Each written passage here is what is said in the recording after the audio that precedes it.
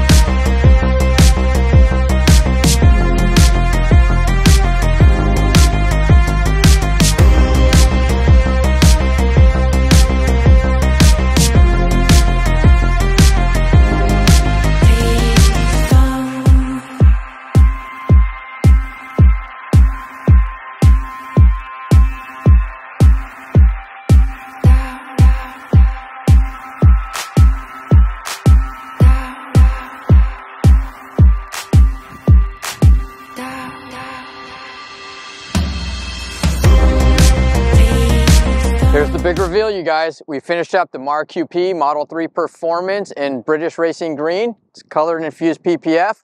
We went ahead and lowered it on the Eibach springs, the Tein EnduraPro Plus shocks, and we installed some spacers. So check it out.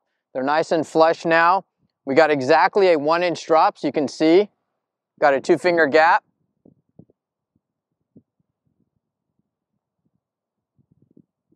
In the front.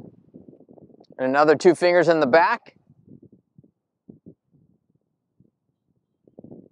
It might settle another 10 millimeters, another half inch uh, over time, but it's a huge improvement.